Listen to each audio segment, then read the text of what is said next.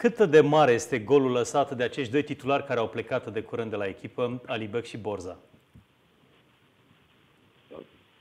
Sincer, Farul e o echipă care uh, își propune să nu stea într-un singur jucător. Dar, uh, sigur, sunt doi jucători care, uh, doi titulari până la urmă, pe care ne bazam. Uh, mă bucură și aș vrea să vorbesc mai mult de venirea lui Luis Munteanu, care îl vom avea uh, încă un an la Faro, lucru ce ne, ne bucură. Ne-am fi dorit să-l ținem și pe Alibec, uh, sincer să fim, însă uh, promisiunea față de el uh, trebuie respectată, suntem oameni de, de cuvânt.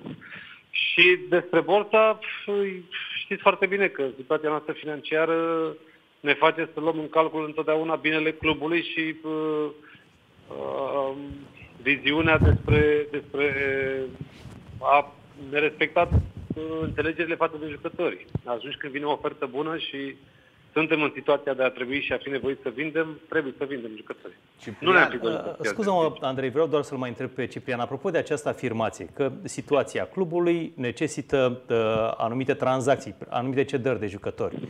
Da.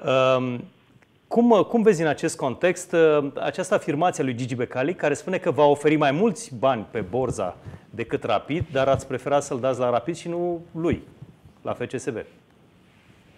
din discuția cu Gică și am văzut că a făcut-o și public, uh, n-a venit nimic concret de la FCSB. Uh, nici măcar impresarul de care dânsul da, Gigi Becali spunea că el public a spus că ar oferi un milion de euro, bani care să rămână clubului, deci nu că ar, s-ar mai duce un procent nu știu unde. Deci un milion de euro era asigurat pentru farul în această tranzacție pentru Borza. Tu îți imaginezi că ne-am fi dorit să luăm un milion, nu, pe Borza, dacă această ofertă ar fi fost una scrisă. Acum eu pot să spun că o să dau pe, pe Popescu 2 milioane, dacă domnul Becali e fericit. Și Asta nu înseamnă că e o ofertă serioasă. Nu cred că așa se fac tranzacțiile și ofertele. Deci, din punctul de vedere, Gică spune că n-a fost contact. Eu nici atât, Popescu nici el. Așa că nu știu cu cine, dacă doar public a făcut o declarație, nu putem să o luăm în serios, ca fiind o ofertă. Deci nu ar fi vorba da. de ceva, să aveți o problemă cu FCSB și ați prefera să-l dați la rapid chiar și pe bani Nici de cum, nici de cum. De ce să aibă? Au văzut la FCSB o grămadă. Salut, Ciprian. Florin Manea sunt. Da, Florin. Da, mi se pare absurd să întrebi. Normal că îl vizi unde îți dă cel mai mulți bani, nu? Dar, Logic. Dar din gură ofertele, tu știi foarte bine că ai jucat fotbal. Până nu vezi scris, da, nu, eu am, am, amintit, am amintit doar de mirarea de asemenea publică aici în emisiunea lui Gigi Becali. El zicea, nu înțeleg de ce l-au dat la Rapid pe bani mai puțin decât nu mi l-au dat mie. Cine e impresarul lui Borza? Giovanni Becali sau Victor Becali? Da, eu am Becali, da. Eu am înțeles că la Rapid are o clauză de 2 milioane de euro de reziliere. Așa am înțeles, nu știu dacă e adevărat, nu știu acte, nu știu nimic. Crezi că Gigi Becali îi dădea clauza aia de 2 milioane? Nu știu, no, te întreb. Nu, dar la, la Faro nu aveau astfel de clauze. Pentru proiecția unui jucător, să zici, ai o etapă intermediară, pleci Faro, A, pleci Rapid sau Steaua... Gigi Becali ar fi pus o... o, o... Nu, n-ar fi pus. Mă gândesc că eu dacă eram impresarul lui Borza, și a zici că se, să meargă la, la rapid. Zici că se dezvoltă, zici că de la rapid are alte perspective. Îl forțam să meargă la rapid pentru că aveam o clauză de reziliere O să la trecem mai ușor de la rapid. Da. Salut Asta. Ciprian, Andrei Trifan sunt.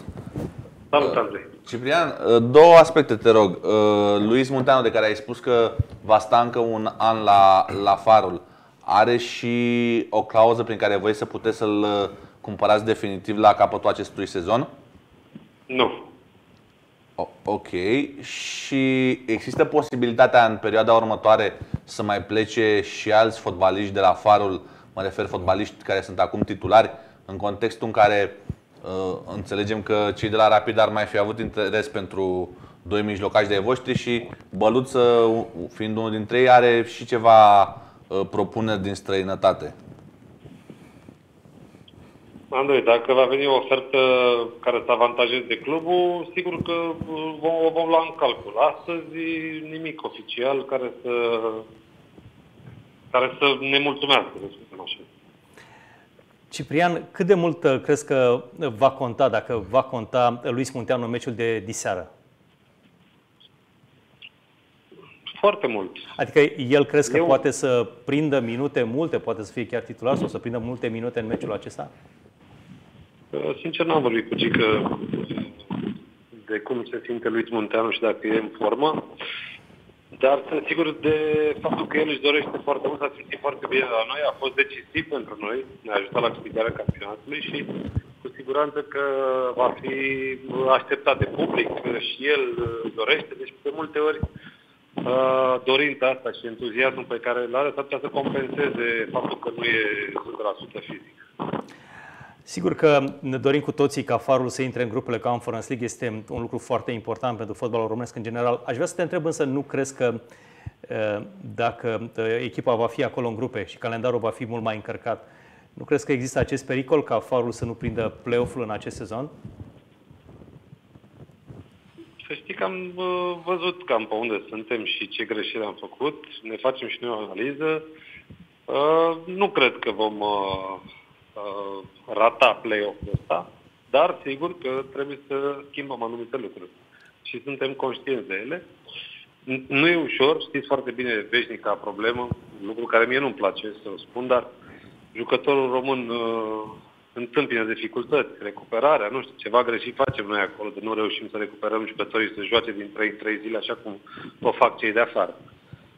Poate că e vorba și de alimentație, de medicamentație, de uh, lucruri ce ne depășesc ca buget, să avem toate răspunsurile.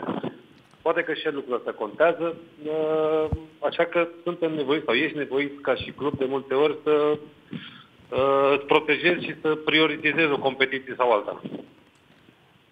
Realist vorbind, există vreo șansă ca Ianis Hagi să revină la farul?